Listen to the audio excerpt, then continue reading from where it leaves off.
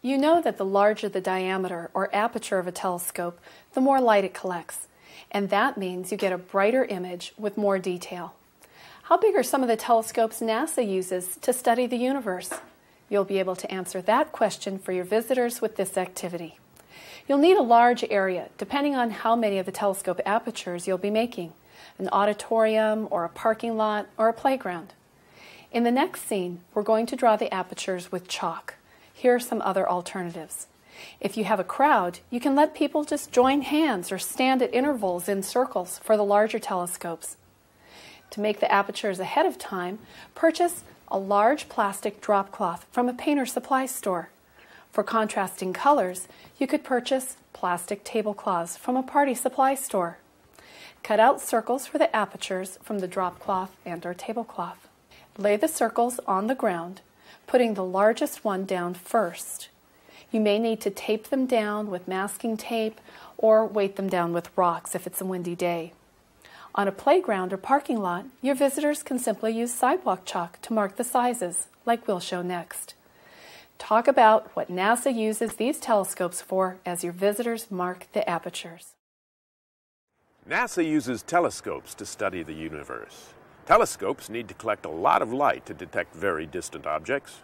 Here we have a string that has markers marking the apertures of various telescopes NASA uses.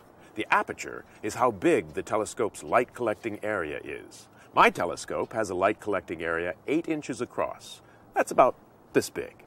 How big are telescopes NASA uses? Who wants to be at the center of these telescope light collecting areas? I will. Great. You hold on to that. And why don't you hold on to the other end?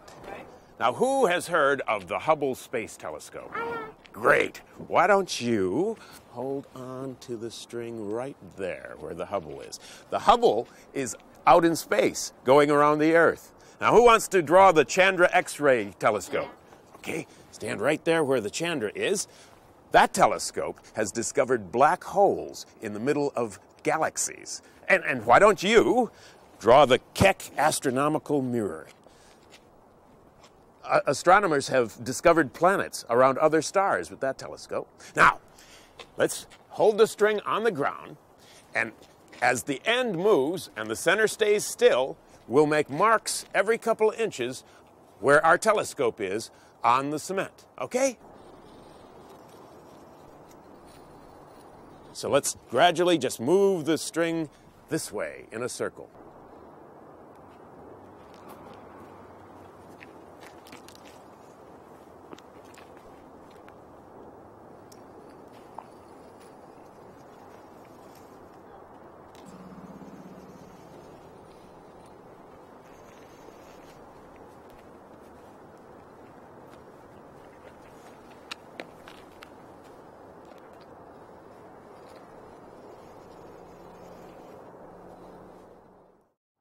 Compared to my telescope, can the Hubble collect more or less light?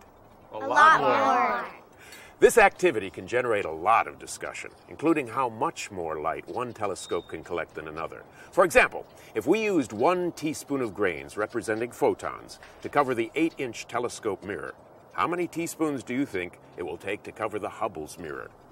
It would be about 100 teaspoons, or about two cups of grains.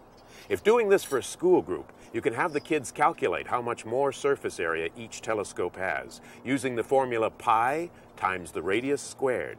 This is explained in the manual.